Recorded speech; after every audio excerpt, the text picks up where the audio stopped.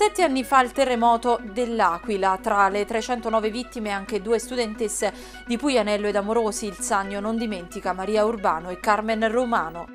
Tragedia familiare a Pianura, padre strangola suo figlio durante una violenta lite in casa. Soldi promessi ai casalesi per vincere le elezioni, arrestato consigliere ed ex assessore all'ambiente del comune di Santa Maria, Capoavetere. Consigliere comunale sfascia carrozze nei guai per il 55enne di Calabritto, arresti domiciliari. A Ferrara, al Salone del Restauro, arriva il ministro Franceschini, un'opportunità anche per le bellezze della Campania. Piazza Corpo di Cristo di Pagani Gremita per ascoltare i ritmi e le note di Enzo Avitabile e Bottari. Chiude così la festa della Madonna delle Galline. Nuovo appuntamento con l'informazione targata Media TV, lo abbiamo sentito dalle nostre anticipazioni, tante le vittime del terremoto del 2009 che ha sconvolto il 6 aprile di sette anni fa l'Aquila e i paesi intorno. E oggi come allora la città si ferma e ricorda fratelli, figli, genitori, mariti e mogli morti sotto le macerie. Tra i 309 morti del sisma ricordiamo anche due giovanissime studentesse della provincia di Benevento, Maria Urbano di Puglianello e Carmen Romano di Amore Amorosi. Il primo corpo fu recuperato, eh, fu quello della ventunenne di Amorosi, studentessa universitaria iscritta alla Facoltà di Economia e Commercio che viveva in una palazzina di cinque piani nei pressi della sede del Consiglio regionale dell'Abruzzo. Quello della ventenne di Puglianello vivevano insieme e venne ritrovato poche ore dopo nella tarda serata del 7 aprile. Si salvò invece Marino, 24 anni, fratello di Maria, che abitava a pochi metri dalla casa della sorella. Oggi l'Aquila è ancora un cantiere a cielo aperto.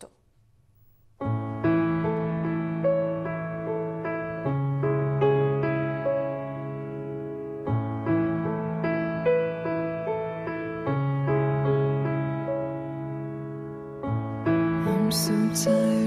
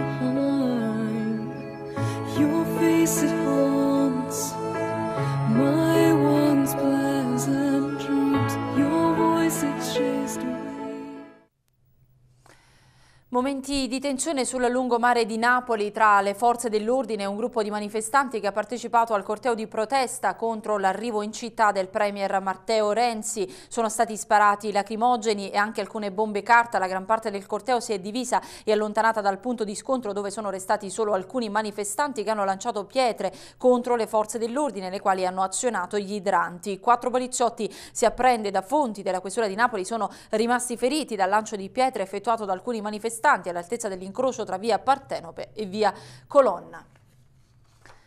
Muore a 53 anni, cinque giorni dopo essersi fatta introdurre nello stomaco un palloncino intragastrico. Francesca Esposito di Santa Anastasia voleva solo dimagrire, invece è morta per cause ancora tutte da accertare. Tragedia familiare a Pianura, padre strangola suo figlio durante una violenta lite in casa. Il servizio La polizia sta facendo indagini per ricostruire i motivi della lite, una lite finita in tragedia a Pianura nella sera di martedì 5 aprile. Un uomo di 67 anni, Santo Avagliano, durante una furibonda discussione in famiglia ha infatti strangolato suo figlio Massimiliano di 42 anni. È successo in uno stabile al numero 45 di via Castaldi e Sequino. Sul posto è intervenuta la polizia che ha fermato il padre omicida.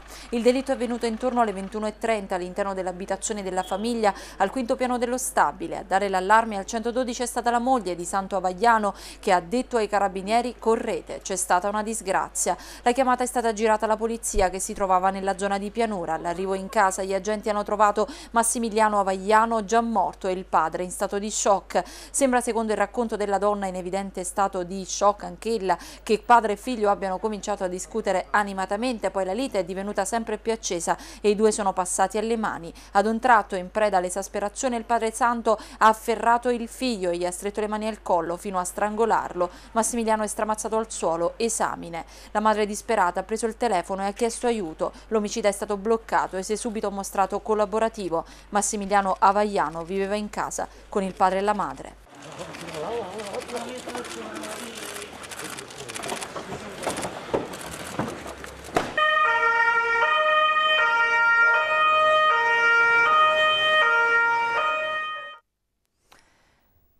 Scoperte due fabbriche del falso, operazione della Guardia di Finanza in provincia di Napoli. Vediamo i dettagli. Sequestrati a Poggio Marino e Nola, in provincia di Napoli, due opifici clandestini. A Poggio Marino i finanzieri del Comando Provinciale di Napoli hanno scoperto una sartoria di circa 130 metri quadrati, abusiva e gestita da una cittadina cinese, in cui venivano realizzati capi di abbigliamento low cost. Gli operai erano costretti a dormire insieme a tre minori in una stanza con cucina priva delle minime condizioni igienico-sanitarie e di sicurezza, privi di un regolare contratto di lavoro e con turni particolarmente prolungati. I militari della compagnia compagnia di Nola hanno invece scoperto una fabbrica del falso ricavata nella sottoscala di un immobile residenziale sprovvisto dei requisiti minimi di sicurezza. Nei locali di circa 1000 metri quadrati sono stati trovati oltre 107.000 capi di abbigliamento contraffatti, cucitrici, impianti di stiraggio e diversi metri di tessuto. A lavorare all'interno della sartoria c'erano 12 extracomunitari senza regolare contratto di lavoro. I titolari degli opifici e delle ditte sono tre italiani e altrettanti extracomunitari che sono stati denunciati per reati che vanno dall'abuso edilizio all'illecito smaltimento di rifiuti alla contraffazione. Soldi promessi al clan dei Casalesi per vincere le elezioni, arrestato consigliere ed ex assessore all'ambiente del comune di Santa Maria Capovetere, comune che tra l'altro si appresta proprio a rinnovare il consiglio, il servizio. Favoriva il clan per ottenere più consensi. I carabinieri del nucleo investigativo del comando provinciale di Caserta hanno dato esecuzione ad un provvedimento di custodia cautelare in carcere emesso dal GIP del Tribunale di Napoli su richiesta della direzione distrettuale antimafia nei confronti di Alfonso Salzillo, già consigliere ed assessore del comune di Santa Maria Capovetere. Il provvedimento cautelare è stato emesso all'esito di un'attività investigativa svolta tra il 2014 e l'agosto 2015 attraverso attività tecniche e dinamiche confermate dalle dichiarazioni dei collaboratori di giustizia che hanno indicato l'ex amministratore locale quale referente nei rapporti tra la pubblica amministrazione e la criminalità organizzata, per conto del gruppo riconducibile a Nicola Schiavone, esponente del clan dei Casalesi, figlio del ben più noto Francesco Schiavone, detto Sandokan, capo del clan e attualmente ristretto in regime carcerario, ex articolo 41 bis. Le indagini hanno permesso di provare la rivelazione da parte dell'indagato da alcuni componenti del clan dei Casalesi di informazioni informazioni circa l'apertura di nuovi cantieri sul territorio al fine di consentire la formulazione di richieste estorsive da parte di esponenti del clan stesso. Inoltre è stato appurato come Salzillo si sia prestato al cambio di assegni bancari allo scopo di impedire la ricostruzione della provenienza e come da candidato alle elezioni amministrative del 2011 per la carica di consigliere comunale di Santa Maria Capovetere per ottenere a proprio vantaggio il voto elettorale egli abbia promesso a due esponenti locali federati con il clan Casalesi la somma di 30.000 euro per il loro appoggio elettorale. Contestualmente all'esecuzione della misura è stata sottoposta a sequestro un'attività commerciale nel settore caseario con sedi a Curti e Ischia, due appartamenti, un fabbricato rurale e un terreno, nonché titoli di credito e rapporti bancari, tutti a lui intestati del valore complessivo di circa 600.000 euro. Durante la prova scritta per il conseguimento della patente di guida presso la motorizzazione civile di Caserta è stato scoperto con una microcamera ed un auricolare. Per questo la polizia di Caserta ha denunciato un uomo di 30 anni di Maddaloni. L'accusa è di falsità ideologica, avendo utilizzato congegni elettronici per comunicare all'esterno. I carabinieri questa volta della stazione di Ailano, a seguito della segnalazione pervenuta alla centrale operativa della compagnia di Piedi Montematese da parte di un militare dell'arma in servizio al comando provinciale carabinieri di Isernia, hanno proceduto all'arresto in fragranza di reato per tentato furto in abitazione di quattro donne, quest'ultime residenti a Mondragone. Le donne sono state notate dal militare mentre si introducevano nell'abitazione di un'anziana donna appunto di Ailano, al momento sola in casa. La scorsa notte ignoti hanno forzato il postamat dell'ufficio postale di Cusano Mutri asportando dal suo interno la somma contante di 25.000 euro. Sul posto sono intervenuti i carabinieri della locale stazione e quelli del nucleo operativo radiomobile della compagnia di Cerreto Sannita che hanno proceduto ai rilievi del caso. Gli agenti della Volante di Benevento hanno tratto in arresto una 28enne di nazionalità romena per tentata estorsione e lesioni ai danni di una prostituta di 22 anni, anch'essa di nazionalità romena. Secondo una prima ricostruzione, la 28enne domiciliata a Napoli avrebbe picchiato con calci e pugni la connazionale perché non le avrebbe versato la percentuale sugli incassi. La donna, dopo le formalità di rito, è stata tradotta in carcere a disposizione del sostituto procuratore Saccone. Consigliere comunale sfascia carrozze nei guai, nuova misura per il 55enne di Calabritto, questa volta agli arresti domiciliari. Vediamo. Ci accedeva in continuazione ma non avrebbe potuto, ha violato più volte i sigilli di un'area sequestrata per reati ambientali. Il suo obiettivo era alienare pezzi di ricambio e veicoli, anche quelli sequestrati. I carabinieri del nucleo operativo della compagnia di Montella hanno eseguito un'ordinanza coercitiva agli arresti domiciliari emessa dal GIP del Tribunale di Avellino sottoponendo alla misura appunto cautelare degli arresti un 55enne consigliere comunale di Calabritto.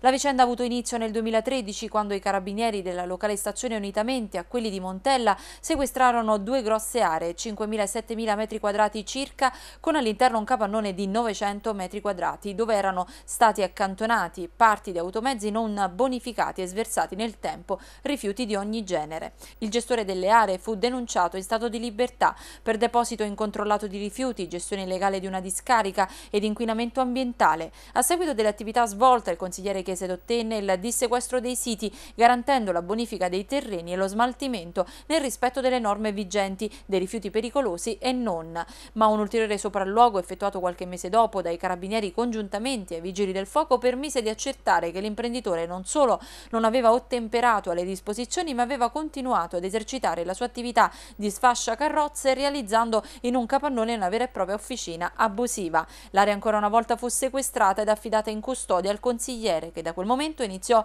a violare i sigilli sottraendo pezzi di ricambio verosimilmente per la successiva vendita. Lo scorso gennaio, nonostante la misura cautelare dell'obbligo di presentazione alla polizia giudiziaria, l'imprenditore è stato beccato nuovamente all'interno dell'area sequestrata. Appena ci verrà notificata procederemo alla trascrizione Carmine Ragano, sindaco di Santo Stefano del Sole, il piccolo centro di 2000 abitanti in provincia di Avellino dove risiedono Giuseppina e Raffaele, darà corso senza indugio alla trascrizione nei registri dell'anagrafe comunale dei due figli della coppia arcobaleno, la figlia di Giuseppina di 13 anni e quello di Raffaele di 3, che le due donne hanno concepito grazie a inseminazioni artificiali negli ospedali di Bruxelles e in Spagna. Il sindaco si adeguerà così alla sentenza con la quale ieri la Corte di Appello di Napoli ha ordinato la trascrizione delle sentenze del Tribunale francese con le quali si riconosceva l'adozione reciproca dei due bambini. Oggi Mauro Felicori, il direttore della Reggia di Caserta a Benevento per una visita guidata ai siti storici e archeologici più significativi della città. A Ferrara invece è in corso il Salone del Restauro, interviene anche il ministro Dario Franceschini che dichiara un'opportunità questa anche per le bellezze della Campania. Sentiamolo. Ministro, non c'era Ferrera una grande opportunità, l'acquisizione della caserma Tofano per un museo archeologico di riferimento nazionale. Sì, è una grande opportunità per una regione che ha delle potenzialità enormi, lo si vede anche dai dati di, queste, di, questi mesi la campagna sta crescendo le presenze turistiche molto più del resto d'Italia. Era naturale e giusto e era anche ora che fosse così. Un collegamento diretto con Pompei, questo è importante. Beh, è una grande opportunità, Napoli arriva l'alta velocità, arriva l'aeroporto, quindi i binari arrivano davanti a Pompei sia della circonvesuviana che delle ferrovie dello Stato e quindi mettere a sistema questo consentirà insomma, di Piazza Corpo di Cristo di Pagani gremita per ascoltare i ritmi e le note di Enzo Avitabile e i Bottari. Chiude così la festa della Madonna delle Galline. Il servizio. E vorrei suonare, devo suonare, ha già suonato, ha già suonato, ha già suonato, e venuto a mettere e mano, a mamma che gli mano un po'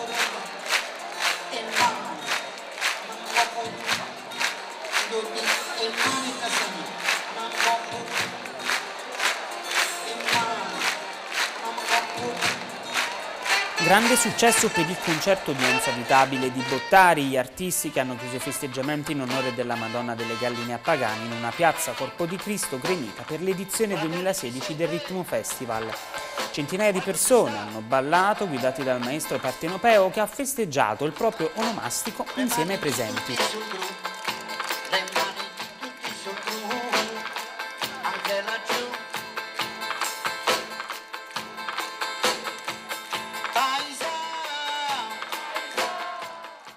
Avitabile ha da sempre ribadito il suo amore e il rispetto per la Madonna delle Galline, un evento che crea solidarietà, accoglienza e aggregazione sociale dove il rituale viene continuamente rimesso in vita e non musealizzato.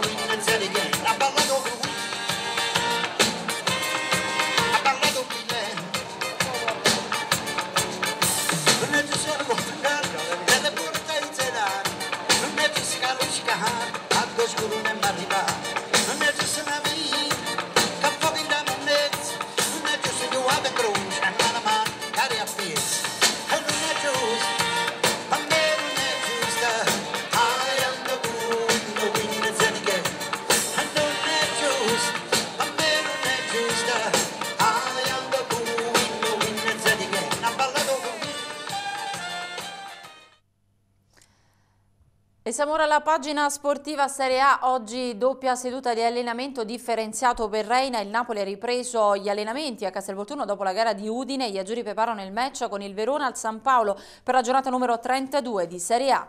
La presenza di Gonzalo Higuain al dibattimento per il ricorso contro la squalifica di quattro giornate è un'ipotesi assolutamente concreta, lo ha detto Mattia Grassani, avvocato che difende il Napoli Calcio. E legale aggiunto, Higuain ha volontà di spiegare i fatti in prima persona ed è un suo diritto a chiedere chiesto di essere sentito personalmente per mostrare la sua ricostruzione sull'esito del ricorso in cui il Napoli punta a dimezzare la squalifica da 4 a 2 giornate.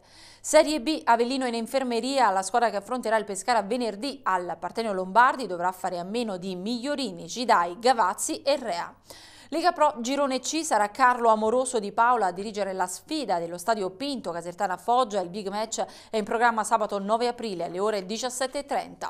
Singola seduta, sempre sul rettangolo verde di Paduli, il Benevento prepara invece la gara di lunedì quando alle ore 20 al San Vito affronterà la formazione del Cosenza. Era questa l'ultima notizia di sport, vi lascio come sempre in compagnia delle previsioni del tempo e della nostra programmazione. Arrivederci e alla prossima edizione.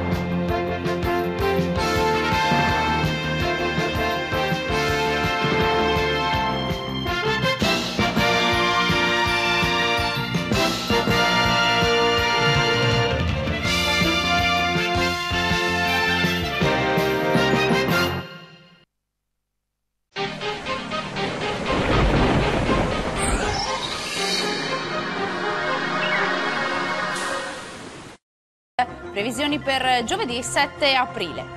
Tempo in peggioramento sulle Alpi, al nord-ovest e sulle due isole maggiori, entro sera un po' ovunque. Ecco il dettaglio preparato da ilmeteo.it.